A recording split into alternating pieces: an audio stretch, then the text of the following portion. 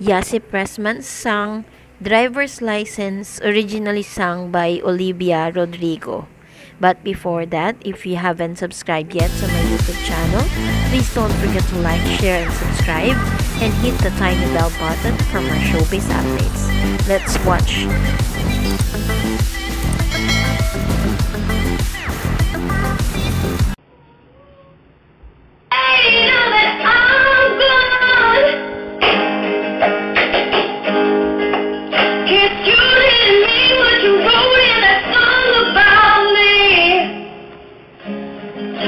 forever. Now I drive alone past your street.